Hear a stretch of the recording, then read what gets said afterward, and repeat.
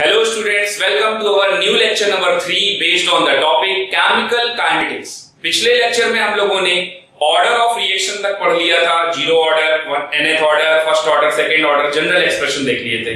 और आज का अपना टॉपिक है फ़र्स्ट ऑर्डर के एप्लीकेशन पार्ट्स तो फ़र्स्ट ऑर्डर रिएक्शन के एप्लीकेशन पार्ट्स हम देखेंगे। तो चलते हैं अगले टॉपिक पे। First order reaction in terms of bacterial growth ये भी एक इंपॉर्टेंट कंसेप्ट है इस पर बेस्ड भी न्यूमेरिकल आ सकता है। तो हेडिंग डाल देंगे। First order reaction in terms of bacterial growth ये होता क्या है? देखिए। जैसे अगर मैं एक रिएक्शन लेट कर लू ए से बना प्रोडक्ट तो टाइम टी बराबर ज़ीरो पर मेरे पास इसके मूल थे ए और तब ये था ज़ीरो और time t equal to t पर हम लोग हर बार लिखते हैं ए माइनस एक्स अब जरा आप सोचिए कि अगर कोई ये सब्सटेंस है और इस सब्सटेंस पे अगर कुछ फंगस या बैक्टीरिया की ग्रोथ हो रही है तो बैक्टीरियल ग्रोथ होगा तो इसका अमाउंट कम नहीं बल्कि और बढ़ेगा, है ना? तो बैक्टीरियल ग्रोथ से इसका अमाउंट क्या हो जाएगा? बढ़ जाएगा। तो वो हो जाएगा ए प्लस एक्स ओके तो ऐसे में मुझे रेट लॉ लिखना है तो मैं लिखूँगा dx by d t is equal to k active mass of a at time t और वो जो active mass of a at time t होगा, वो हो जाएगा k a plus x dx by d क्योंकि यहाँ पर बैक्टीरियल ग्रोथ हो रहा है, इसलिए माइनस माइनस का कोई साइन रहेगा, सिर्फ़ dx by d t equal to k a d ये रहेगा। एक्स वाले एक तरफ़ ले आइए तो dx upon a plus x is equal to k d t इसको इंटीग्रेट कर देंगे। और इसको इंटीग्रेट करेंगे तो वन अपॉन एक्स डीएक्स का इंटीग्रेशन एल एन एक्स होता है। तो one upon x dx type का ही है। तो l n a plus x is equal to k t plus c dash ये सी डैश क्या है? इंटीग्रेशन कॉन्स्टेंट अब की बार हम इनडेफिनेट इंटीग्रल कर रहे हैं। डेफिनेट नहीं। पहले हम लिमिट लगाते थे तो डेफिनेट इंटीग्रल होता था। चलिए। तो ये बन गया expression at time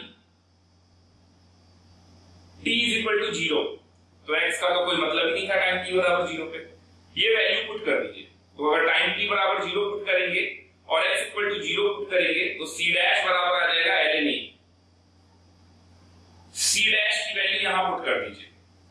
तो ये आ जाएगा ln a plus x is equal to k t plus l n a यहाँ से आ जाएगा k is equal to one upon t k is equal to one upon t ln a plus x upon a पहले चलता था a upon a minus x लेकिन bacterial growth के case में a plus x upon a चलेगा। यानी इसको हम कैसे और लिख सकते हैं? तो इसको हम लॉग स्टैंडर्ड बेस बना के लिख सकते हैं। K is equal to two point three zero three upon t log a plus x upon okay तो ये हमारा फॉर्मूला बन गया बैक्टीरियल ग्रोथ के केस नोट कर लेंगे। नेक्स्ट हेडिंग डाल देंगे। फ़र्स्ट ऑर्डर के ये सब एप्लीकेशन पार्ट है। तो अभी एप्लीकेशन पार्ट और भी है फ़र्स्ट ऑर्डर का। फ़र्स्ट फ़र्स्ट ऑर्डर रिएक्शन बहुत ही इंपॉर्टेंट है हमारे सिलेबस के लिए। बोर्ड पॉइंट ऑफ़ व्यू से भी और जेई और नीट के पॉइंट ऑफ़ व्यू से भी। तो चलिए देखते हैं next first order reaction in terms of pressure तो प्रेशर के टर्म्स में अपने को पढ़ना है। फ़र्स्ट ऑर्डर रिएक्शन अब प्रेशर के टर्म में कैसे पढ़ेंगे? तो फिर से एक रिएक्शन ले लेते हैं हम लोग, जिसमें ए से बन रहा है बी प्लस सी नाम का product okay time t is equal to zero पे इसका प्रेशर है पी नॉट गैस ए ये सब गैसियस स्पेस में है, क्योंकि प्रेशर की बात तो हम गैसियस स्पेस में ही कर सकते हैं। टाइम टी बराबर ज़ीरो पे इसका प्रेशर है पी नॉट और ये zero zero time t is equal to t पे ये हो गया पी नॉट माइनस कुछ वाई ले लेते हैं। बड़ी देर से एक्स एक्स चल रहा था तो अब की बार कुछ चेंज कर देते हैं। तो पी नॉट माइनस वाई तो ये भी वाई हो गया, ये भी वाई हो गया। टाइम टी बराबर इंफिनिटी पर क्या होगा? तो ये ज़ीरो हो जाएगा और ये नॉट और ये भी पी नॉट हो जाएगा स्टाइचोमेट्रिक कॉफिशिएंट के अकॉर्डिंग ओके यहाँ पर अगर मैं लेट कर लू let pt is the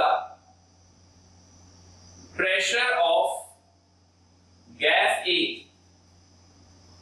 at time t pt क्या है? गैस A का प्रेशर एट टाइम टी यानी टाइम टी पर ये जो गैस ए का प्रेशर है, यही क्या है? पीटी तो हमारा फ़र्स्ट ऑर्डर रिएक्शन अगर ये फॉलो कर रहा है तो ये किस तरीके का एक्सप्रेशन बनेगा। तो आप ये ऊपर कंसिडर भी कर लेना। Let us consider a reaction which follows first order kinetics. Let us consider a reaction which follows first order kinetics. Okay, तो देखिए K का फॉर्मूला होता था अपना K equal to 2.303 upon T log A upon A minus x यही होता था या C नॉट बाई C तो आप पहली चीज़ तो ये कि जो कंसंट्रेशन है वो प्रेशर के डायरेक्टली प्रोपोर्शनल है concentration is directly proportional to pressure और कंसंट्रेशन में मोल पर लीटर होता है तो वो ए के डायरेक्टली प्रोपोर्शनल हो जाएगा ओके तो जैसे आप पी नॉट लिखते थे ए की जगह पर आप पी नॉट लिख देंगे।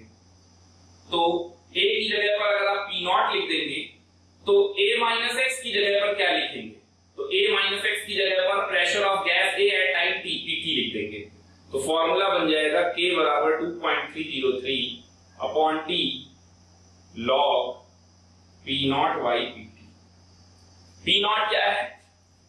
Pressure of gas a at time t बराबर ज़ीरो इनिशियल प्रेशर और पीटी क्या है? Pressure of gas a after time t या at time t time t पर उसका प्रेशर पीटी है. तो ये नोट कर लेंगे एक्सप्रेशन ओके okay? आप बल्कि यहीं पर लिख लीजिएगा तो वो जगह बच जाएगी। Concentration is directly proportional to pressure अब देखिए, अगर मैं यहाँ पर एक केस और चेंज कर दूँ, जैसे इसको मैं मान लेता हूँ केस नंबर वन अब मैं थोड़ा बदल रहा हूँ तो अब मैं यूज़ कर रहा हूँ केस नंबर टू तो केस नंबर टू में मैं क्या लिख कर रहा हूँ? Let PT is the pressure of gaseous mixture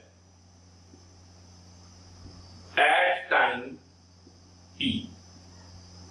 अगर PT गैस A का प्रेशर ना हो, बल्कि PT पूरे मिक्सचर का प्रेशर हो एट टाइम T तो आप क्या लिखोगे तो PT अगर पूरे गैसियस मिक्सचर का है तो पीटी बराबर क्या हो जाएगा? Partial pressure of a plus b plus c at time t और वो प्रेशर कितना है? तो p naught minus y plus y plus y p naught minus y plus y plus y एक वाई से एक वाई कैंसिल हो गया।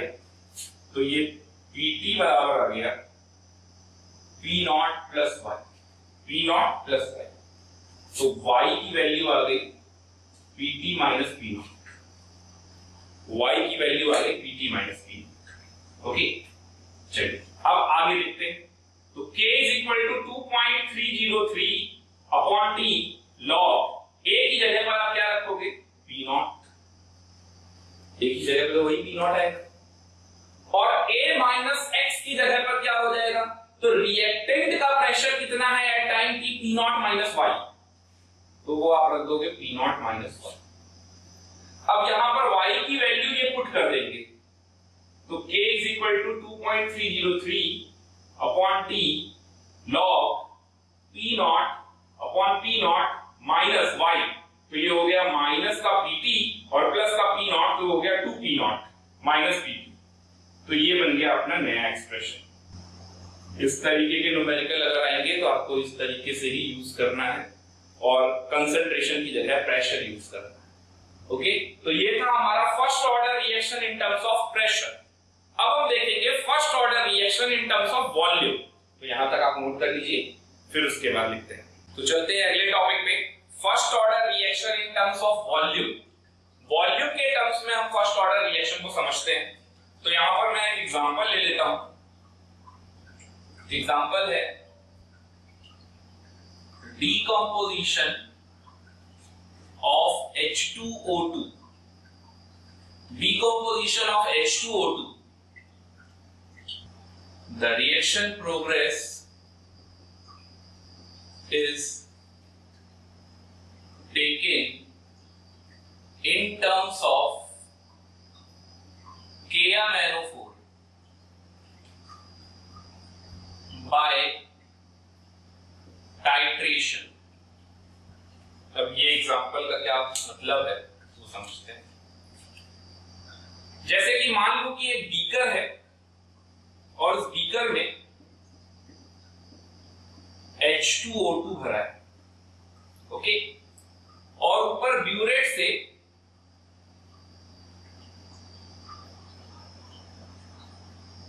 ऊपर ब्यूरेट से हम KMNO4 पास कर रहे हैं। यहाँ पर ये फोर हो रहा है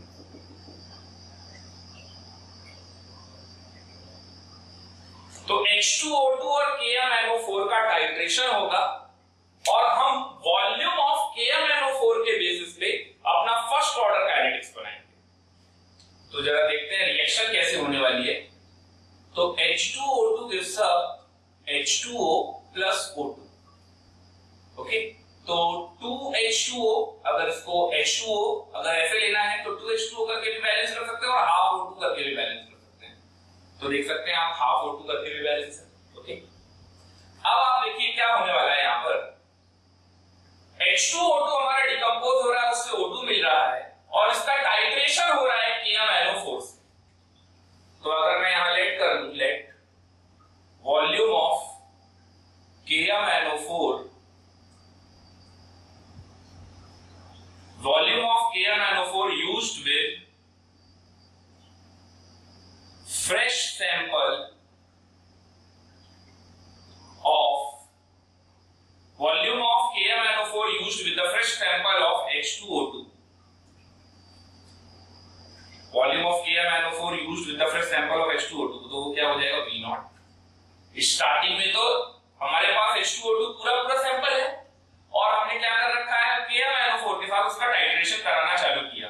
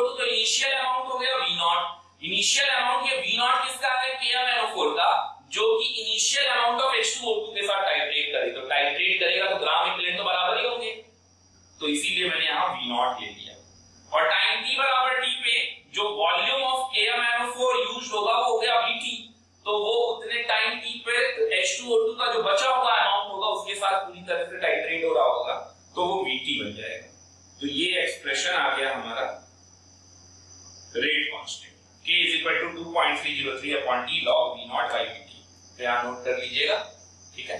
और इसको डिकम्पोजिशन ये फॉलो क्या करता है? फ़र्स्ट ऑर्डर रिएक्शन ये भी लिख लीजिएगा फॉलोज फ़र्स्ट ऑर्डर काइनेटिक्स ये अपने को लेट करना है कि ये रिएक्शन फ़र्स्ट ऑर्डर काइनेटिक्स को फॉलो करती है। यहाँ तक बात समझ में आ गया अब जरा देखिए, अगर मैं इसी रिएक्शन को in terms of volume of O2 के रेस्पेक्ट में अगर मैं देखूँ तो वॉल्यूम ऑफ़ O2 के रेस्पेक्ट में अगर मैं इसको ट्रीट करूँ तो एक्सप्रेशन क्या हो जाएगा? तो वो भी देख लेते हैं। If this reaction is expressed in terms of volume of O2 obtained by decomposition of H2O2. Okay, this. तो यहाँ पर भी मेरे को कुछ लेट करना है और वो क्या लेट करना है तो V नॉट को लेट करना है तो V नॉट क्या होगा अब की बार V नॉट को मान लेंगे volume of O2 at time t बराबर ज़ीरो तो वो एक्चुअल में वी नॉट क्या होगा? ज़ीरो क्योंकि टाइम टी बराबर ज़ीरो पे तो O2 आया ही नहीं होगा। ओके तो VT लेट कर लेते हैं volume of O2 at time t बराबर t. किसी पर्टिकुलर टाइम इंटरवल t पर O2 आ गया होगा। तो उसका वॉल्यूम हमने कैलकुलेट कर लिया Vt. और जब ये रिएक्शन पूरी तरीके से एंड में जा रही होगी, यानी इनफाइनाइट टाइम पे, जो यहाँ इनिशियल रहा होगा, वो पूरा का पूरा कन्वर्ट हो चुका होगा इसमें। तो V इंफिनिटी क्या हो जाएगा? Volume of O2 at T is equal to infinity जो कि पूरा का पूरा रिएक्टेंट जैसा हो यानी आप इसको ए की तरह ट्रीट कर सकते हो। ओके तो अगर इसको ए की तरह करेंगे, क्योंकि ये फॉर्म हुआ है तो एक्स तो ए माइनस एक्स क्या हो जाएगा? तो ए जैसा क्या हो जाएगा? वी इंफिनिटी और ए माइनस एक्स जैसा क्या हो जाएगा? तो वो हो जाएगा v infinity minus v t a minus x अब इसी को लगा दीजिए आप फ़र्स्ट ऑर्डर एक्सप्रेशन में। तो k बराबर 2.303 upon t log a upon a minus x की जगह पर लगेगा तो क्या आएगा? 2.303 upon t log v infinity upon v infinity minus v t ये अप्रोच डेवलप कर रहा हूँ मैं, ताकि आप एग्ज़ाम टाइम में ये सब समझ पाए। ऐसे क्वेश्चन आने के चांसेस थोड़े कम होते हैं बट अगर आते हैं तो इनको सॉल्व करना आसान होता है, अगर आपको स्टेटमेंट समझ में आ जाए। ओके तो ये था इन टर्म्स ऑफ़ वॉल्यूम ये था first order reaction in terms of volume note कर लेंगे इसको भी। तो चलते हैं अपने नेक्स्ट टॉपिक पे। First order reaction in terms of optical rotation heading डाल देंगे। First order reaction in terms of optical rotation. Optical rotation को मेजर करने के लिए जो इंस्ट्रूमेंट हम यूज़ करते हैं वो है पोलैरीमीटर तो पोलैरीमीटर की रीडिंग ये नोट कर लेंगे, इस तरह से बनाना है। टाइम टी बराबर ज़ीरो पे पोलैरीमीटर की reading r naught time t बराबर टी पर इंफिनिटी पर। तो r naught r t r infinity इस तरीके से। फिर से एक फ़र्स्ट ऑर्डर रिएक्शन को कंसिडर कर लेते हैं। तो लिखेंगे let consider a first order reaction let us consider a first order reaction. तो एग्जांपल में ले लेंगे। हाइड्रोलिसिस ऑफ़ शुक्रोज शुक्रोज की हाइड्रोलिसिस ले लेते हैं। शुक्रोज का फॉर्मूला बताइए। C twelve H twenty two O eleven plus water gives up C6H12O6 C6H12O6 इसको बोलेंगे शुक्रोज इनमें से एक हो जाएगा ग्लूकोज और दूसरा हो जाएगा fructose okay sucrose glucose fructose time t बराबर ज़ीरो पे इसके ए मोल थे, तब ये था ही नहीं। और ये हमेशा एक्सेस में चल रहा है तो इसका कोई मतलब नहीं।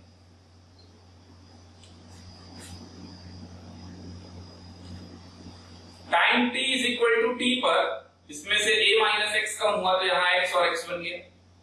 और टाइम टी बराबर इंफिनिटी पे ये ज़ीरो हो गया तो ये ए और ए मोल हो गए। ये याद रहे, ये मोल है। Optical rotation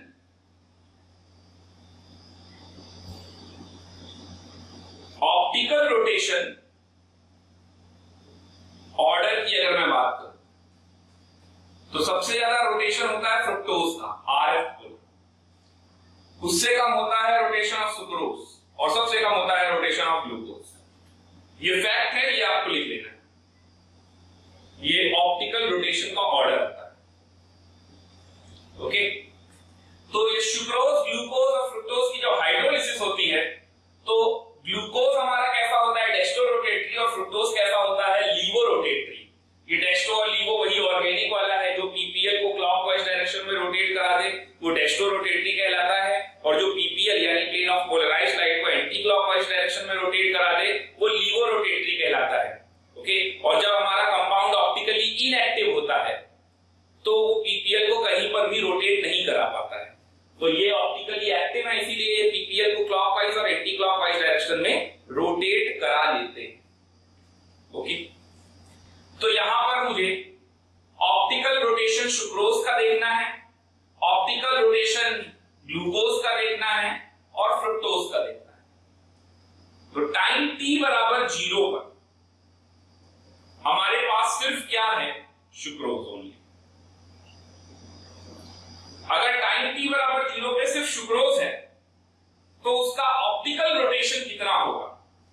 तो ऑप्टिकल रोटेशन पर मोल के अकॉर्डिंग तो सुक्रोज का आर एस होता है और ए मोल है तो ये बन जाएगा आर नॉट तो ये आर नॉट बन जाएगा ऑप्टिकल रोटेशन यानी रोटेशन एट टाइम टी बराबर zero R naught is equal to बन जाएगा R S into A equation number one time t is equal to t पर हमारे पास शुक्रोज भी है ग्लूकोज भी है और फ्रुक्टोज भी है। तो ऐसे में जो हमारा आर टी होगा optical rotation at time t वो किसके बराबर होगा? तो वो होगा R S into A minus X plus R G R G का मतलब rotation of optical rotation of glucose due to glucose तो R G into X plus R F into X ये हो गया हमारा equation number two okay time t बराबर infinity पर हमारे पास क्या है? शुक्रोज नहीं है ओनली ग्लूकोज एंड फ्रुक्टोज हमारे पास ग्लूकोज है। और फ्रुक्टोज है तो ऑप्टिकल रोटेशन इंफिनिटी पर क्या होगा?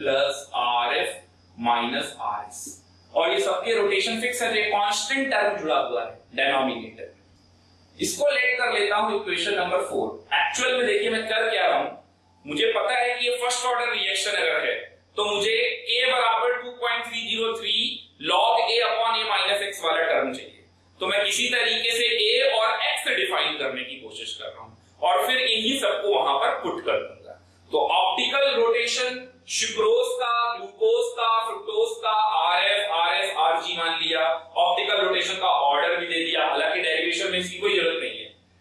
टाइम टी बराबर ज़ीरो पे मेरे पास सिर्फ़ शुक्रोज था तो क्या ऑप्टिकल रोटेशन होगा? Time t is equal to t पर ग्लूकोज फ्रुक्टोज शुक्रोज सभी का तो ऑप्टिकल रोटेशन क्या होगा?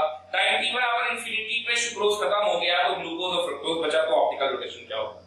इन तीनों की मदद से मैं ए और एक्स फाइंड आउट करना चाहता ओके तो एक्स तो मैंने फाइंड आउट कर लिया अब मुझे चाहिए ए तो ए कैसे आएगा अगर आप यहाँ पर देखो इस वाले टर्म में तो आर एफ़ और आर जी और ए कॉमन होकर यहाँ पर भी आ रहा है और यहाँ पर ये जो टर्म है ये कांस्टेंट वैल्यू है। ऐसा ही कुछ यहाँ पर भी आ सकता है।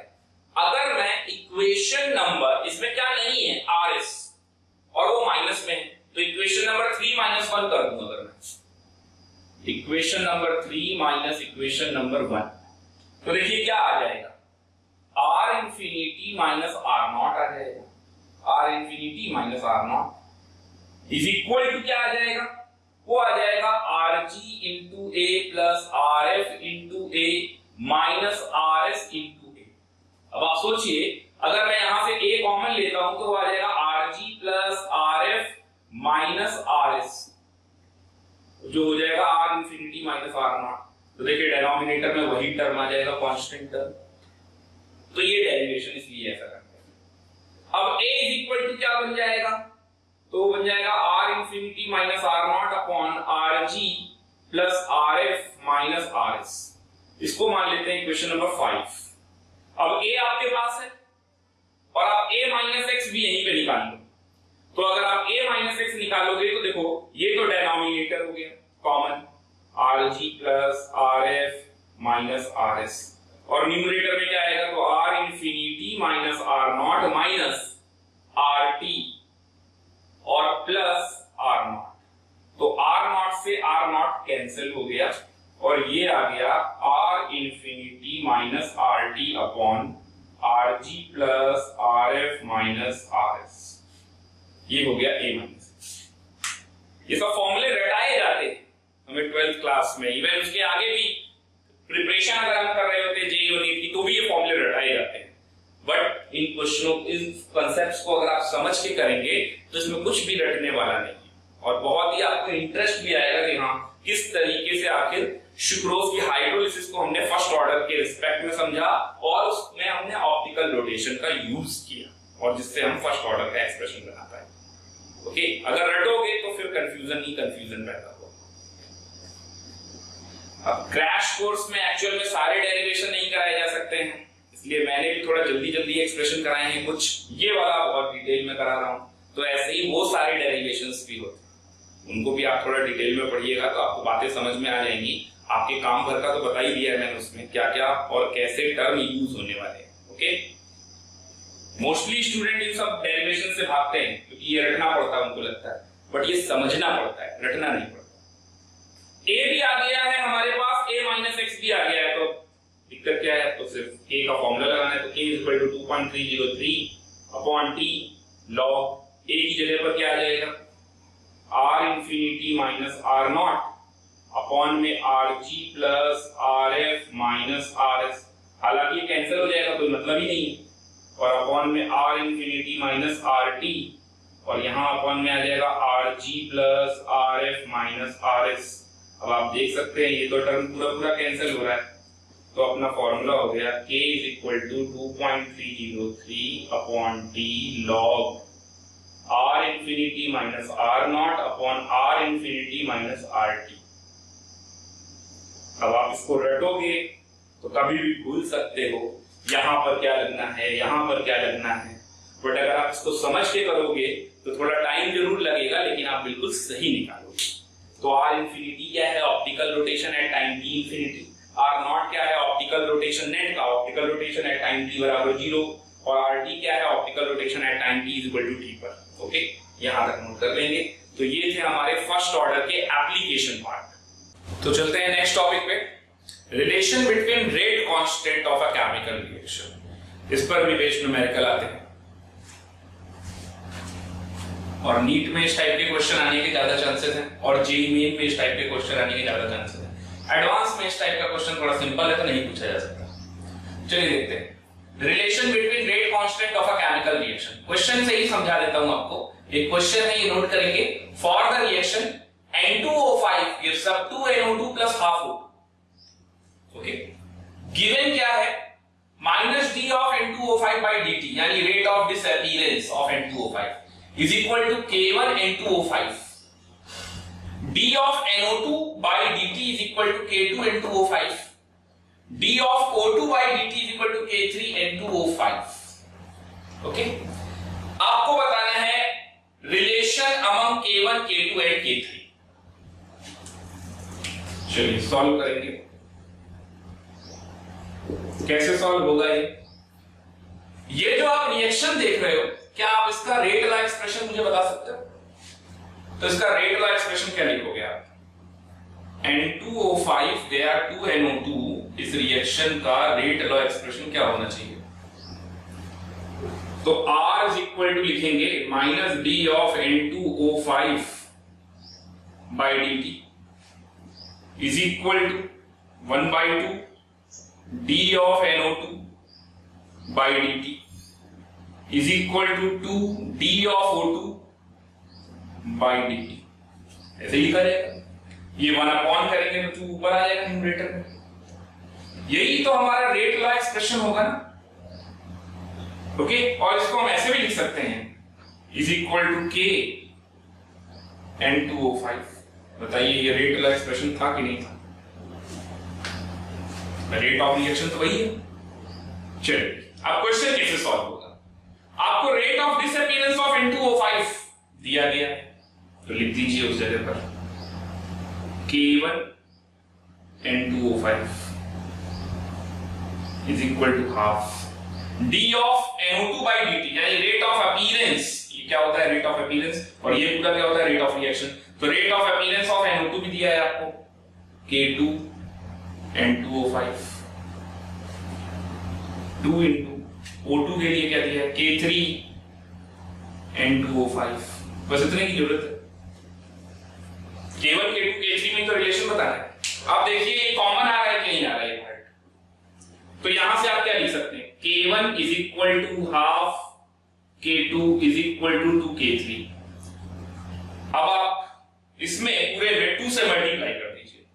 अगर आप टू से मल्टीप्लाई करेंगे तो क्या आएगा? Two K one is equal to K two is equal to four K three two K one is equal to K two is equal to four K three यानी K one is to K two is to K three का ratio क्या हो जाएगा? 2 is to 1 is to 4 तो ये अपना answer note कर लीजिए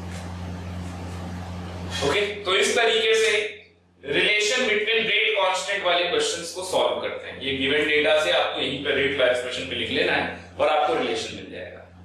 नेक्स्ट चलते हैं. Parallel reaction most important topic है. पैरेलल रिएक्शन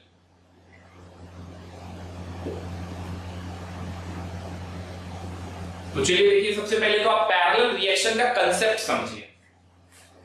तो पैरेलल रिएक्शन का मतलब है, एक ही रिएक्टेंट से एक साथ साइमल्टेनियसली दो या दो से ज़्यादा प्रोडक्ट बन रहे हो। इस टाइप की रिएक्शन को हम बोलते हैं पैरेलल रिएक्शन ओके तो पैरेलल रिएक्शन का मतलब जैसे ए से बन रहा है बी और ए से बन रहा है सी एक साथ बन रहा है साइमल्टेनियसली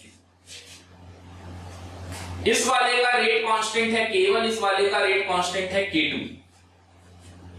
ओके तो ए इन दोनों के लिए कॉमन रिएक्टेंट है। और ए से एक ही बार में बी भी बन रहा है और उसी टाइम पे सी भी बन रहा है ए सी। अब पहले इसमें आपको मोल और स्टाइचोमेट्रिक कॉफिशियंट निकालना बता। जैसे यहाँ पर टाइम टी बराबर ज़ीरो पे मान लीजिए ए के वन मोल थे, तब बी और सी कुछ भी नहीं था। Time t is equal to t पर वन माइनस कुछ एक्स निकला तो उस रेशियो में एक्स यहाँ बन जाएगा। वो तब बनेगा जब वन टू वन की स्टाइचोमेट्री है। ओके और इसी तरीके से वन माइनस वाई निकलेगा तो यहाँ कुछ वाई बन जाएगा। ओके तो ये बी और सी के मोल्स हो गए एक्स और वाई और ए के मोल्स टाइम टी बराबर टी पर कितना हो गया? One minus X minus Y तो अगर मुझसे बोला जाए टोटल मोल्स टोटल मोल्स कितने? तो total moles at time t पर। तो उन सबको ऐड कर देंगे। और उन सबको जब हम ऐड करेंगे तो कितना आएगा? टोटल मोल्स के लिए। जब हम उनको ऐड करेंगे तो ये आ जाएगा one minus X minus Y plus X plus Y तो आप देख सकते हैं एक्स वाई कैंसिल हो गया। यानी टोटल मोल बना। अगर मुझसे बोला जाए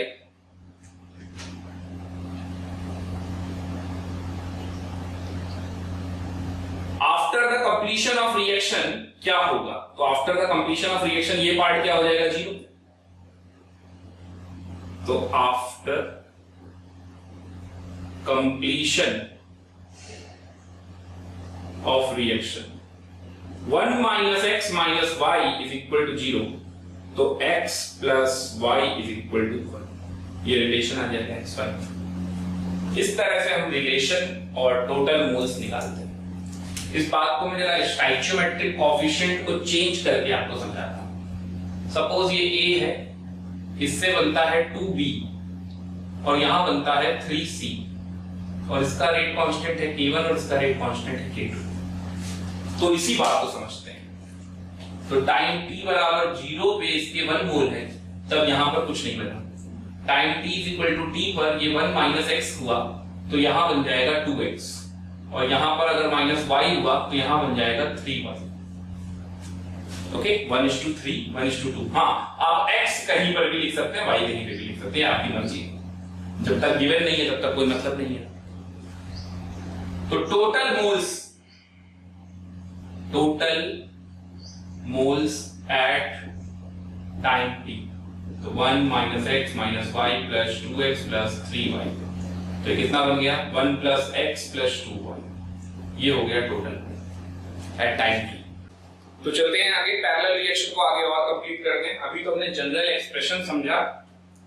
तो पैरेलल रिएक्शन में, फिर से हमने वही रिएक्शन लेट कर ली।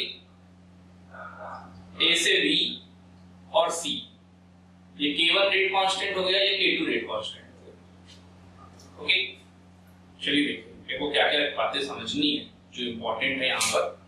तो अगर मैं टाइम टी बराबर ज़ीरो पर इसका कंसंट्रेशन ए नॉट मान लू और टाइम टी बराबर टी पर इसका कंसंट्रेशन मैं ए टी मान लू ए टी और टाइम टी बराबर ज़ीरो पे ए नॉट ओके इसका कंसंट्रेशन मैं बी टी मान लूँगा, इसका सी टी मान लूँगा। तो एक्सप्रेशन पहला आया A naught is equal to A T plus B T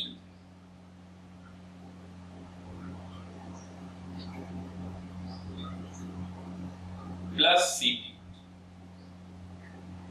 Concentration of of C time time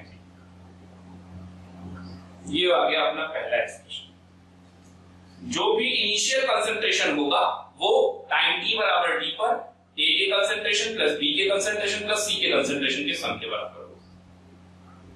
अब चलते हैं दूसरे एक्सप्रेशन अगर मुझे यहाँ पर dB बाई dt निकालना तो वो तो प्रोडक्ट है तो इसलिए पॉजिटिव रहेगा तो वो आ जाएगा K one A T concentration of A at time t आप टी नहीं लगाओगे तो भी चलेगा। ए का मतलब एट टाइम टी ही ओके इसी तरीके से डीसी बाई डी टी अगर निकालेंगे तो वो आ जाएगा K two concentration of A at time t okay अगर मुझे बी और सी का रेशियो निकालना हो एक्टिव मास ऑफ़ बी और एक्टिव मास ऑफ़ सी तो इसका एक डेरिवेशन होता है अभी देख लेंगे बट आपको ये याद रखना है हमेशा। कि बी और सी का एक्टिव मास का रेशियो इन दोनों को डिवाइड ही कर देना है। और डिवाइड करके कितना आने वाला है? के वन बाई के टू तो ये बी और सी का रेशियो है ओके अब इसके बाद देखिए। अब आपको निकालना है रेट जो कि minus D A by D T होगा। तो D A by D T को कैसे निकालेंगे आप? ये K one A T plus K two A T इसके सम के बराबर। क्योंकि इससे यही दोनों बने तो k one A t plus k two A t इसके सम के बराबर। तो आप minus d A by d को लिख सकते हैं k one plus k two times of A t ये बिल्कुल फ़र्स्ट ऑर्डर जैसा एक्सप्रेशन दिख रहा है या नहीं आपको। तो जब हम लोग फ़र्स्ट ऑर्डर रिएक्शन निकालते थे तो के इज़ इक्वल टू क्या लिखते थे वहाँ पर? थोड़ा सा इसको और एक्सप्लेन कर देता हूँ। Minus d A by d t is equal to k dash मान लेते हैं। तो यहाँ से मैं बोल सकता हूँ कि k dash is equal to k one plus k two और क्योंकि ये फ़र्स्ट ऑर्डर रिएक्शन को फॉलो करता है पैरेलल रिएक्शन तो हर parallel reaction first order reaction को फॉलो करता है। तो k dash is equal to k1 plus k2 यानी k टोटल जो k इफ़ेक्टिव आपका आ रहा है। आप k डैश बोलो या k इफ़ेक्टिव बोलो। वो k1 प्लस k2 के सब के बराबर। तो आप इसमें k की जगह पर 0.693 अपॉन t हाफ़ इफ़ेक्टिव बोल सकते हैं। और ये हो जाएगा 0.693 upon t half of one plus 0.693 upon t half of two तो यहाँ से आप ले सकते हैं one upon t half effective total is equal to one upon t half of one plus one upon t half of two ये भी एक रिलेशन आ जाएगा। इंपॉर्टेंट रिलेशन है, इसका आगे भी यूज़ भी करेंगे। ओके तो एक तो मैंने कुछ रिलेशन तो यहाँ बताए आपको, और फिर मैंने आपको ये बताया रेट ऑफ़ रिएक्शन निकालना, और फिर अपने पास ये एक इंपॉर्टेंट रिलेशन और ये भी कह सकते हैं। इसमें एक टर्म और आता है।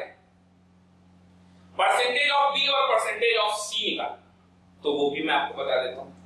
परसेंटेज ऑफ़ बी और सी निकालने का तरीका क्या है? परसेंटेज ऑफ़ बी तो ये जो आप जो रिलेशन देख रहे हैं ना B by C is equal to k one by k two इन दोनों तरफ़ वन वन ऐड कर दीजिए। तो परसेंटेज ऑफ़ बी के लिए आपको क्या करना पड़ेगा?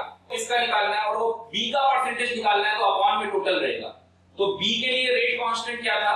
K one upon k one plus k two into hundred इसी तरीके से आपको परसेंटेज ऑफ़ सी निकालना है अगर तो सी के लिए रेट कांस्टेंट क्या है? K two upon k one plus k two into hundred ये परसेंटेज निकालने का इसी में प्लस वन दोनों तरफ़ आप ऐड करेंगे तो ये क्या आ जाएगा? B plus C upon C और यहाँ आ जाएगा k one plus k two upon k two तो सी के लिए क्या आ जाएगा? सी के लिए आ जाएगा k two upon k one plus k two into hundred कर देंगे तो परसेंटेज आ जाएगा। हंड्रेड नहीं करेंगे तो फ्रैक्शन में आ जाएगा। तो ये तो हो गए सारे फॉर्मूले जो कि पैरेलल रिएक्शन में मोस्ट इंपॉर्टेंट है। इसमें परसेंटेज वाला क्वेश्चन ज़रूर आता है। इस तरीके का क्वेश्चन बन सकता है, टी हाफ़ के ऊपर, है ना? और बी और सी के रेशियो के ऊपर बन सकता है। यही तीन पॉइंट पे क्वेश्चन बनते हैं। अब अगर मैं आपको ये बताऊँ कि ये कहाँ से आ रहा है तो ये बात मैं आपको प्रूफ करके बता सकता हूँ कि ये कहाँ से आ रहा होगा। तो देखिए जैसे यहाँ पर ये आपका के डैश के इफ़ेक्टिव बन गया। इसका अगर आप रेट कांस्टेंट का एक्सप्रेशन निकालते थे तो ये ए नीचे जाकर, ये के डीटी बन जाता था। फ़र्स्ट ऑर्डर रिएक्शन बनता था।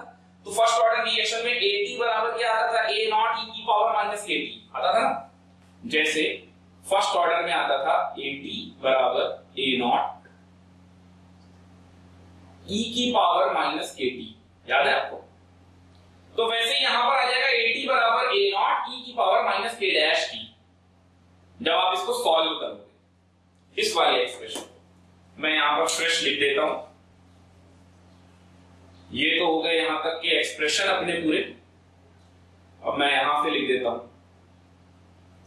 Minus d A by d t is equal to k one plus k two times of A t जिसको आप के डैश बोलोगे।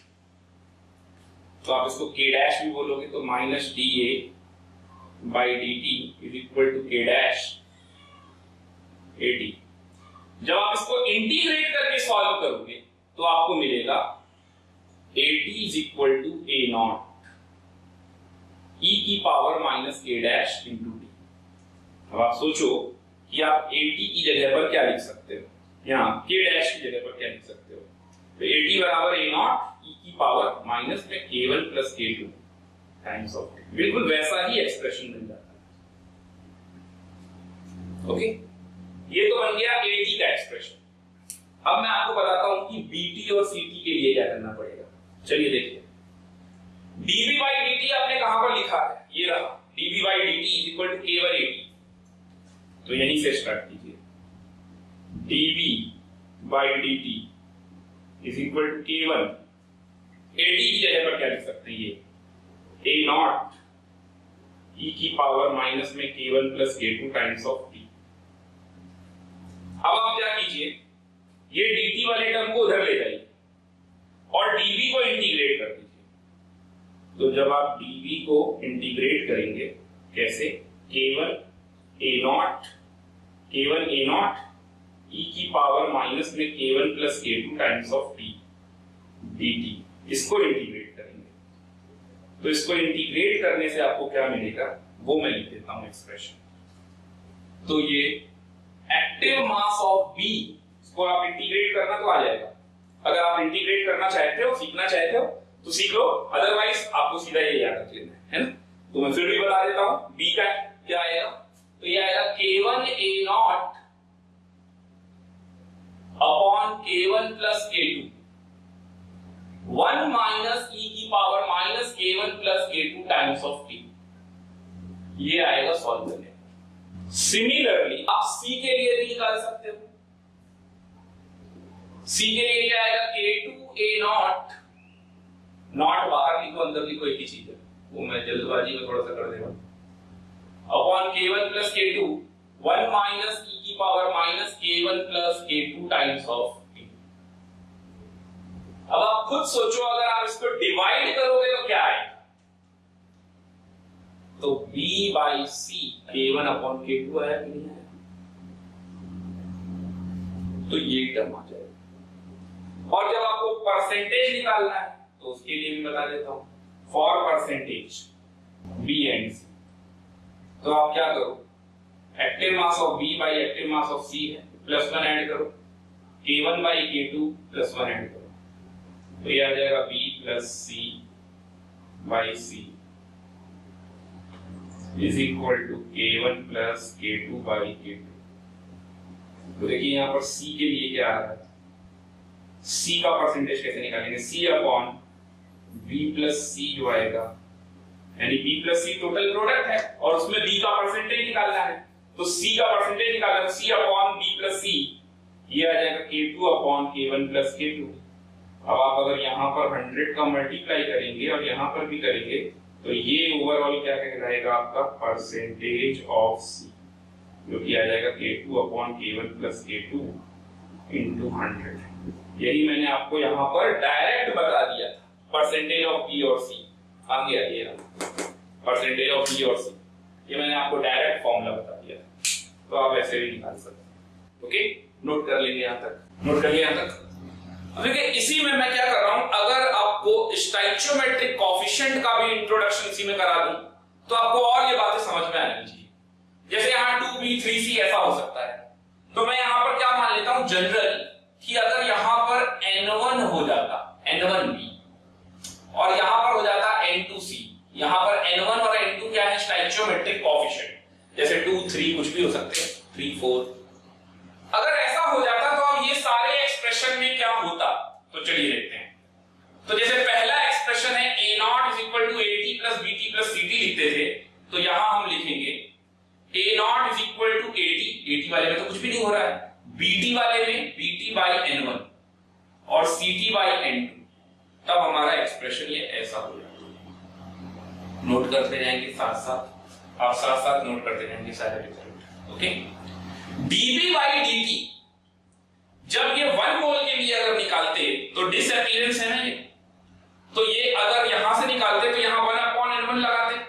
तो इस एन वन को वहाँ भी पहुँचा सकते हैं। तो जहाँ जहाँ आपने केवल लिख रखा है, वहाँ वहाँ पर आप एन वन केवल लिखेंगे, और जहाँ जहाँ आपने खाली के टू ले रखा है, वहाँ पर आप एन टू के टू लिखेंगे। तो डीबी बाई डी टी क्या बन जाएगा? N one k one A t d C by d t क्या बन जाएगा? N two k two A t B और सी का रेशियो क्या हो जाएगा? तो n one k one n two k फिर ये आ जाएगा। इसी में आप समझ लीजिए, आपको बिल्कुल क्लियर कट सारी बातें समझ में आती जाएँगी। और आप ये नया बना लीजिएगा, मैं तो इसी में कर रहा हूँ। आप अलग से बनाइएगा ओके चलिए देखिए यहाँ पर जैसे ये वाला तो रेट क्या लिखेंगे minus d by d t लिखेंगे और वो क्या लिखेंगे n one k one A t n two k two A t तो ये हो जाता ये वाला अपना एक्सप्रेशन हो जाएगा n one k one plus n two k two A t जिसको आप के डैश बोल दोगे तो के डैश का मतलब हो गया n one k one plus n two k two यानी k effective n one k one n two k two okay तो यहाँ पर जब आप लिखते k effective zero point six nine three upon t half तो यहाँ पर एक एन वन टर्म भी आता और यहाँ पर एक एन टू टर्म भी आता तो ये हो जाता n one upon t half of one और ये हो जाता n two upon t half of one two okay तो यहाँ पर इस तरीके से चेंज होता स्टाइचोमेट्रिक कोएफिशिएंट ऐसे यूज़ करते हैं चलिए परसेंटेज में सबसे ज़्यादा यूज़ है उसको समझ लीजिए परसेंटेज तो मैंने क्या बोला जहाँ जहाँ केवल लिख रखा है वहाँ वहाँ एन वन केवल लिख दो जहाँ जहाँ पर के टू लिख रखा है वहाँ वहाँ पर एन टू के टू लिख दो आप simple one is two one की स्टाइचोमेट्री से एक्सप्रेशन समझ लो और एन वन एन टू ऐसे लगाते चले जाओ तो यहाँ पर परसेंटेज ऑफ़ बी अब आता आप क्या होना चाहिए n one k one upon n one k one plus n two k two यही तो होगा क्योंकि यही तो आ रहा है देखिए आप इसी में तो प्लस वन ऐड करेंगे दोनों तरफ़। तो वही बनेगा। Percentage of C n two k two upon n one k one n two k two यही चाहिए अब आप कर लोगे। यहाँ पर भी आप यहाँ एन वन यहाँ एन टू इस तरीके से लगा देंगे। ओके समझ में आ गया? तो ये नोट कर लेंगे। ये था अपना कंप्लीट पैरेलल रिएक्शन अब इस पर बेस्ड एक न्यूमेरिकल भी समझ लेते हैं। तो उससे अपने को और क्लियर हो जाए तो पैरेलल रिएक्शन पर बेस्ड न्यूमेरिकल सॉल्व करेंगे। तो मैंने दो क्वेश्चन लिख रखे हैं। फ़र्स्ट क्वेश्चन आप ये नोट कर लेंगे। क्वेश्चन नंबर वन ए से बन रहा है बी और सी ए के टाइम टी बराबर ज़ीरो पे टू मोल पर मिनट यहाँ पर K1 की value four into ten to the power minus three और K2 की वैल्यू रेट कांस्टेंट K2 की value one into ten to the power minus three है। अपने को कैलकुलेट करना है concentration of B and C और दूसरा पार्ट है percentage of B and C तो चलिए देखते हैं कैसे सॉल्व करेंगे हम लोग। तो सबसे पहली चीज़ की concentration of B and C कैसे आएगा? तो देखिए यहाँ पर टू मोल है। तो अगर यहाँ पर टू मोल है तो मैं यहीं पे सॉल्व करना स्टार्ट कर देता हूँ। इसके टू मोल है टाइम टी बराबर ज़ीरो पे। तो टाइम टी बराबर टी पर two minus x minus y तो यहाँ क्या हो जाएगा एक्स और वाई ओके? तो total mole total mole after the reaction after the reaction after the completion of reaction after the reaction क्या आ जाएगा? तो two minus x minus y is equal to zero तो x plus y is equal to क्या आ जाएगा? To ये एक रिलेशन मिल गया अपने को। X plus y equal to ये पूरा पार्ट ज़ीरो हो जाएगा, जो कि उसमें चला जाएगा। तो x plus y equal to two आ गया। और बी और सी का कंसेंट्रेशन ढूंढना है। चलिए, देखते हैं। तो अपने को फॉर्मूला लगाना है। Active mass of B upon active mass of C is equal to क्या होता है? एक्स अपॉन वाई और वो किसके बराबर है? k1 अपॉन k2 और k1 अपॉन k2 की वैल्यू है 4 into ten to the power minus three upon 1 into ten to the power minus three ये कैंसिल हो गया। तो इसका मतलब आ गया, x upon y is equal to four upon one. K one by k यानी x इज़ इक्वल टू आ गया फोर वाई ये भी एक और नया रिलेशन आ गया। X is equal to four y यहाँ पर पुट कर देंगे। तो x is equal to four y plus y is equal to two तो five y is equal to two तो y इज़ इक्वल टू आ जाएगा two by five two by five okay तो ये बन गया हमारा ज़ीरो पॉइंट फोर वाई और अगर y की वैल्यू ज़ीरो पॉइंट फोर बन गया तो x बराबर क्या बन जाएगा? फोर टाइम्स तो वन पॉइंट सिक्स तो x और y का कंसंट्रेशन मिल गया मुझे। x की वैल्यू 1.6 y की वैल्यू 0.4 ओके अब बात करते हैं तो हो गया फ़र्स्ट पार्ट का आंसर अब बात करते हैं सेकेंड पार्ट के लिए। तो सेकेंड पार्ट में मेरे को percentage of B and percentage of C निकालना है। तो आपको पता है परसेंटेज ऑफ़ बी कैसे निकालते हैं?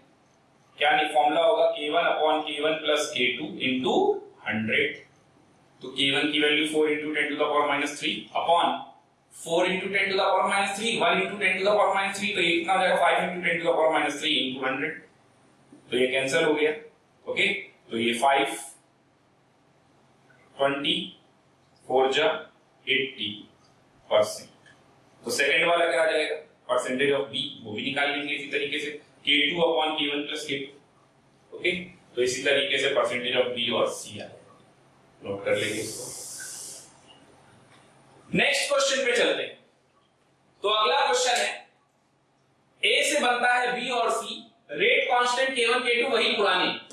इसको बोल दिया पाथ वन ए से बी और ए से सी को बोल दिया पाथ टू एक्टिवेशन एनर्जी ये of A along path one is 60 kilojoule activation energy ea of a along path second is 100 kilojoule ये नेट बताना है अपने को। तो ये नेट कैसे लाते हैं? एक्चुअली में देखिए कॉन्सेप्ट तो ये है कि जो हमने लिखा था K dash is equal to K one plus K two K effective K dash और दूसरा आपको एक फॉर्मूला यूज़ करना है। के इज़ इक्वल टू ए की power minus E upon R तो आप के इफ़ेक्टिव की जगह पर लिख सकते हैं ए इफ़ेक्टिव ई की power minus E A upon R T is equal to A one E की power minus E A one upon R T plus A two E की power minus E A two upon R T okay अब इसको differentiate करेंगे। तो आपके पास formula आ जाएगा। अब आप डेरिवेशन पे मत जाओ, सीधा फॉर्मूला याद रखो। तो फॉर्मूला क्या है? ये नेट ये जो ये ये ये नेट ये आ जाएगा ये one into K one plus ये two into K two upon K one plus K two ये नेट में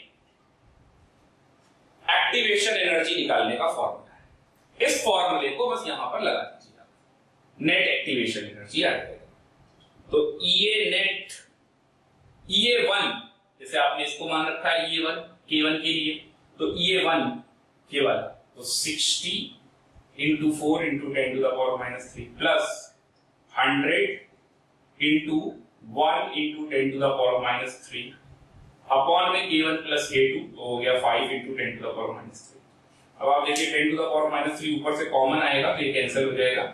और ये हो जाएगा हमारा सिक्स फोर या टू फोर्टी प्लस हंड्रेड तो ये हो जाएगा three forty by five five six जा और फाइव एट जा तो सिक्सटी एट किलो जूल पर आंसर तो अपना आंसर नोट कर लेंगे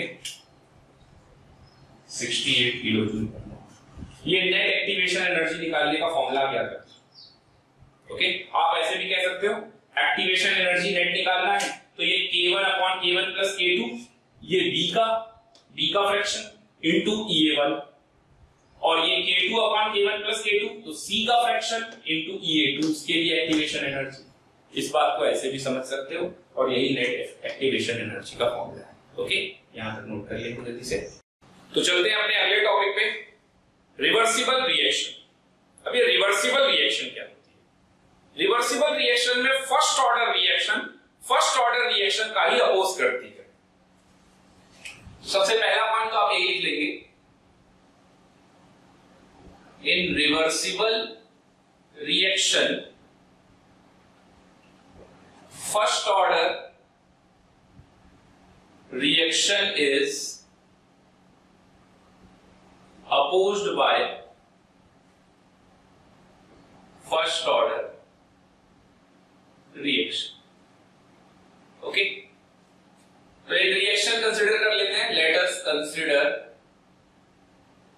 a reversible reaction तो रिएक्शन ले लेते हैं ए रिवर्सिबल विथ बी ये के एफ़ फॉरवर्ड कांस्टेंट और ये K B backward constant time T is equal to zero पे. इसका कंसंट्रेशन ए था. ये नहीं था. Time T is equal to T पे ए माइनस एक्स तो ये एक्स आ गया. Time T is equal to T equilibrium पे ए माइनस एक्स सी तो ये एक्स सी हो अब यहाँ पर x क्या है और xc क्या है? तो x है number of moles number of mole of b at time t. और xc क्या है? Number of moles of b at time t. equilibrium mole upon volume कर देंगे तो कंसंट्रेशन हो जाएगा। तो वॉल्यूम तो सेम रहेगा, क्योंकि रिएक्शन दोनों एक ही कंटेनर में हो रही होगी। दोनों के लिए सेम वॉल्यूम होगा। तो मोल को आप कंसंट्रेशन के टर्म से भी रिप्लेस कर सकते हो। कंसंट्रेशन से भी रिप्लेस कर सकते हो। ओके चलिए इस रिएक्शन में रेट ऑफ़ रिएक्शन अपने को जानना है। और डीए बाई डी जानना है डीबी बाई डी जानना है यही सारी चीज़ें समझनी तो देखिए, सबसे पहला अगर मैं इस फॉरवर्ड वाले एरो को देखूँ तो ये मेरा रिएक्टेंट है और ये प्रोडक्ट है। और अगर मैं इस बैकवर्ड वाले एरो को देखूँगा तो रिएक्टेंट ये है और प्रोडक्ट ये है। तो अगर मुझे लिखना हो DA by D T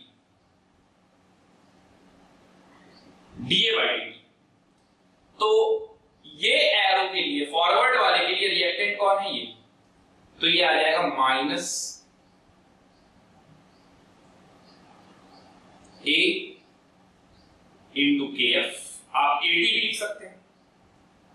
Plus active mass of B क्योंकि वो प्रोडक्ट है इंटू के क्वेश्चन नंबर अगर आपको लिखना है डीबी बाई डी टी तो कैसे लिखेंगे डीबी बाई डी अब इस बैकवर्ड एरो के लिए रिएक्टेंट कौन है ये?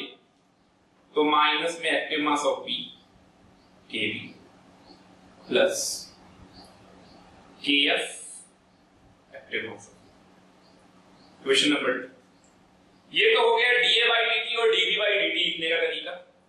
अब बात करते हैं रेट ऑफ़ रिएक्शन तो rate of reaction is equal to rate of forward minus rate of backward. तो रेट ऑफ़ रिएक्शन को मैं जनरल बोल रहा हूँ dx by D dx by D तो ये क्या हो जाएगा F active mass of A minus K B active mass of B. Okay. At equilibrium dx by dt क्या हो जाएगा? ज़ीरो।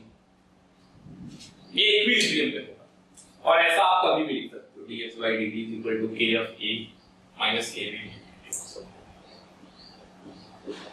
तो विदाउट इक्विलिब्रियम आप ये लिख सकते हो और इसका मतलब क्या होता है? वो भी लिख देता हूँ मैं। तो इसका मतलब होता है, dx by T is equal to K F active mass of A उसकी जगह पर क्या लिख देंगे? टाइम इंटरवल टी इक्विलिब्रियम नहीं होना चाहिए टी लेना A minus X minus K B में लिखेंगे तो यहाँ लिखेंगे बी एक्स की जगह पर क्या लिख देंगे? बी की जगह पर क्या लिख देंगे? एक्स तो ऐसा ये था without equilibrium at equilibrium dx by dt तो ऐसे में active mass of A at equilibrium हो जाएगा। A माइनस एक्सी और active mass of B at equilibrium हो जाएगा एक्सी ओके जरा dx by dt लगा देते हैं इक्वल टू ज़ीरो तो dx by dt is equal to kf active mass of A minus kb active mass of B अगर इसको zero put कर दूँगा तो ये बोला जाएगा kf active mass of A is equal to kb active mass of और जैसा कि हम सब जानते हैं केमिकल इक्विलिब्रियम में equilibrium constant at constant concentration Kc बराबर होता है Kf अपॉन Kb तो जब आप Kf अपॉन Kb करेंगे तो ये आएगा active mass of B upon active mass of और याद रहे, ये इक्विलिब्रियम पे लिखना है तो B का एक्टिव मास इक्विलिब्रियम से कितना होता है? Xc और A के लिए A माइनस एक्सी तो ये आपका Kc, जो कि Kf अपॉन Kb होता है, ये Xc upon A minus XC बन जाएगा। ये एक्सप्रेशन नोट कर देंगे यहाँ अब इसको जब हम इंटीग्रेट करके पूरा सॉल्व करेंगे तो हमारे पास रेट कांस्टेंट का फॉर्मूला बन जाएगा। तो वो रेट कांस्टेंट का फॉर्मूला क्या हो जाएगा? K is equal to 2.303 upon T log XC upon XC minus X और ये के का मतलब है के एफ़ प्लस यानी के डैश नेट के ओके तो ये अपना फॉर्मूला इसको कैसे डिराइव करते हैं, उस पर नहीं जाते हैं, आप सिंपली बस ये याद रखो फॉर्मूला एक्सी क्या है, वो आपको पता है इक्विलिब्रियम पे कंसंट्रेशन है या मोल है? मोल भी बोल सकते हैं कंसेंट्रेशन भी बोल सकते हैं, और एक्स क्या है? टाइम टी पर। डिसोसिएटेड है okay k f plus K B ये K F plus K B net rate constant है के डैश तो यहाँ तक नोट कर लेंगे। इसको अगर हम एक्स के फॉर्म में निकाले तो एक्स इज़ इक्वल टू क्या आ जाएगा? एक्स इज़ इक्वल टू आ जाएगा। Xc वन माइनस ई की power minus K F plus K B times of K okay? ये भी एक फॉर्मेट आ है। ओके? तो यहाँ तक नोट कर लेंगे और आज का लेक्चर हम यहीं पे एंड करते हैं। ओके? आज के लिए इतना ही।